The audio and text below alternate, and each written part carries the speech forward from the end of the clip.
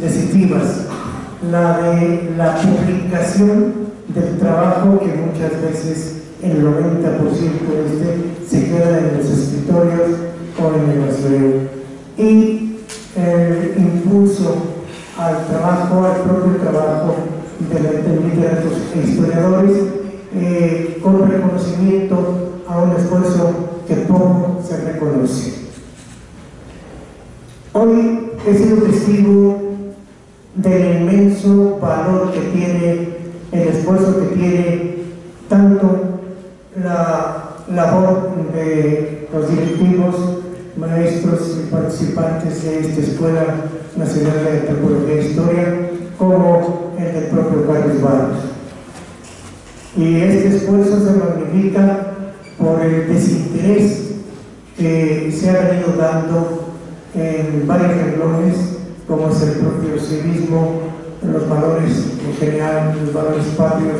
y la misma historia.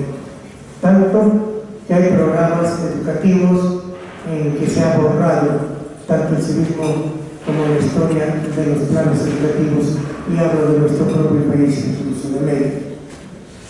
Así es que el reconocimiento al trabajo, al esfuerzo, al impulso que le da a su vez Carlos Barros a los demás amantes de la historia mediante su organización de Historia Debate, de la cual soy firmante al nacimiento de hace 15 años también. Eh, creo que es más que plausible, es de reconocerse, y de reconocerse porque al final de cuentas él es el que acicatea a aquellos que van a su vez a acicatear a los alumnos en las aulas. Yo quisiera, yo pidiera que existieran mil Carlos Barros y que existieran diez mil escuelas nacionales de antropología e historia. Esto,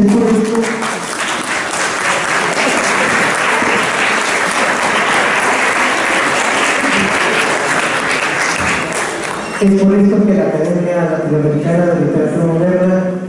y la Sociedad Académica de Historiadores en base a las normas establecidas en su programa de reconocimientos y honores, acordaron otorgar, otorgar al doctor Carlos Barros el Premio Latinoamericano de Historia Doctor Walter Vela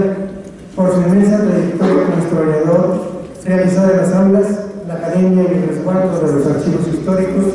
así como la amplia difusión que de esta materia ha alcanzado con su portal Historia a Debate mi querido amigo a distancia, a quien no conozco personalmente, el más caluroso de los abrazos.